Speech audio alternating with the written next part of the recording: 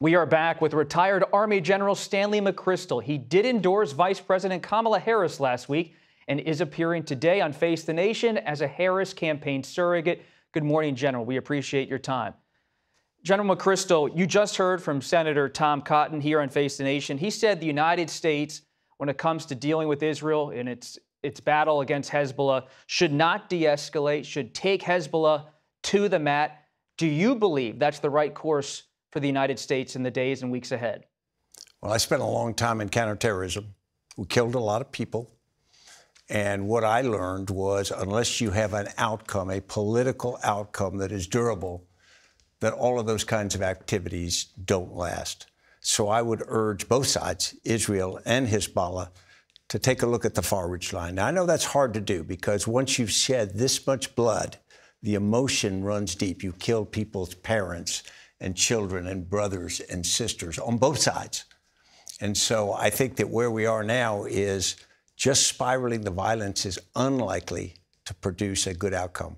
And yet, I can sympathize with both sides, the visceral desire to, to go after the other. What's your assessment of Prime Minister Benjamin Netanyahu, how he's handling this moment and his strategy?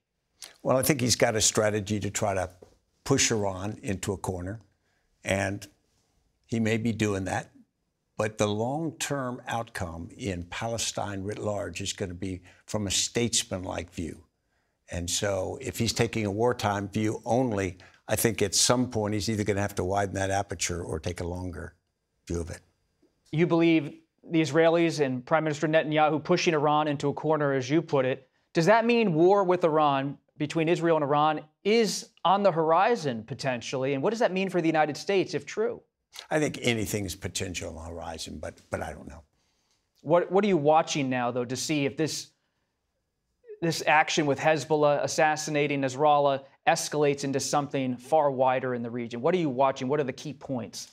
Well, I think the key thing is the more you press the fight, the harder you go for the juggler, the more you create scar tissue that's going to last for generations. And that's a factor.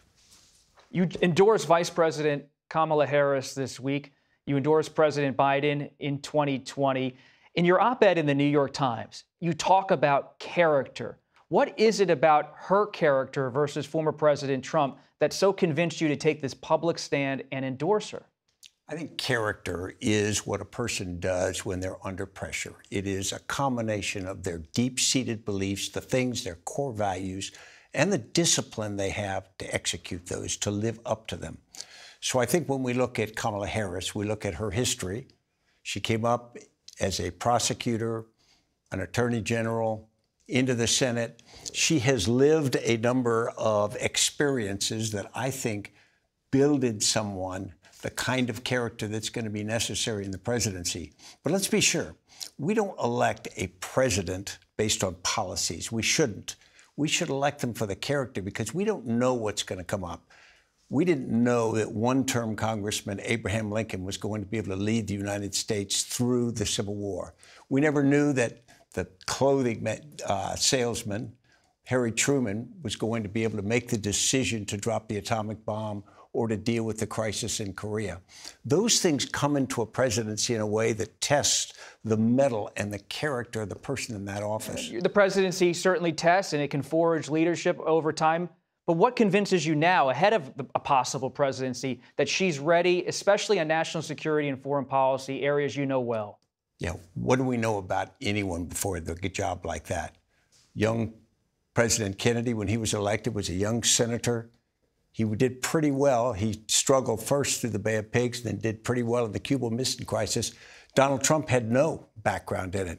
What we've seen from Kamala Harris convinces me she has the strength, she has the values to deal with the uncertain crises that are uh, inevitable.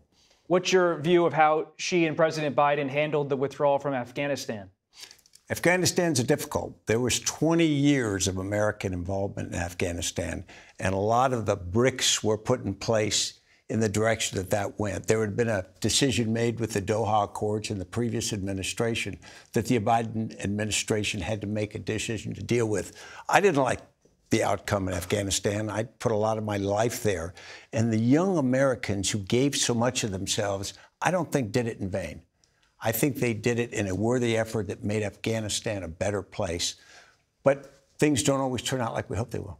You wrote in your op ed that it's mostly about character, but you connected in, in your piece character to policy, especially on America's role in the world.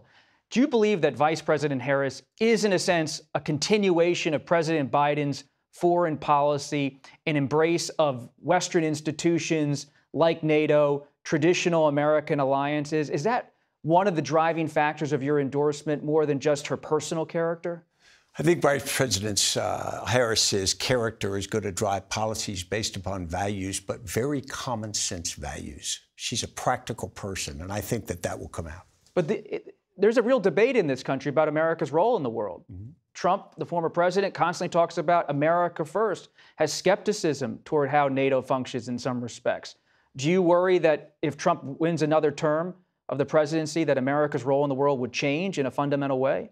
I think America's role in the world is critical. Take, for example, the war in Ukraine.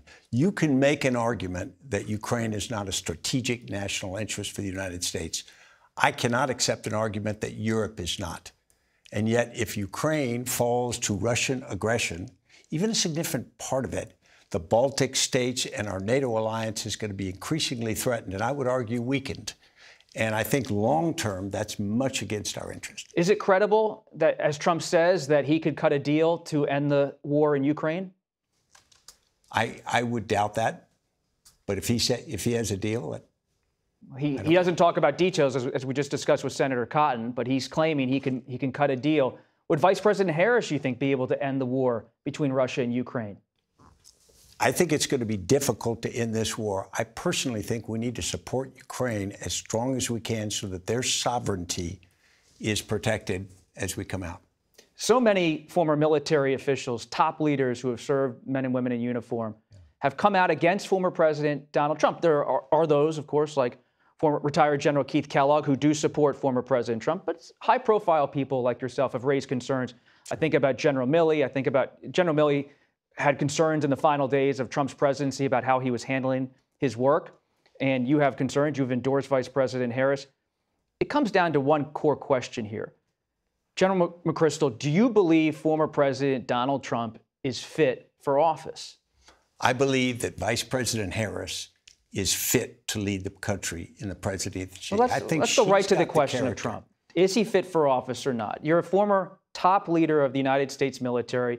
You're supporting a presidential candidate. You have a former president now running for the presidency again. You seem to have core character questions. Is he fit for office or not? Okay, Bob, let's be honest. Why would a retired military officer come on to endorse his opponent? You tell me.